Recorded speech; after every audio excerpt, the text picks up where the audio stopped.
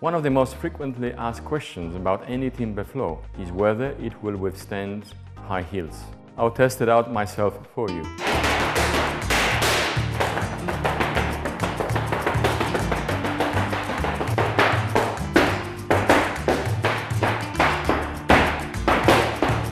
Ole! As you can see, after all of that, there is still no damage.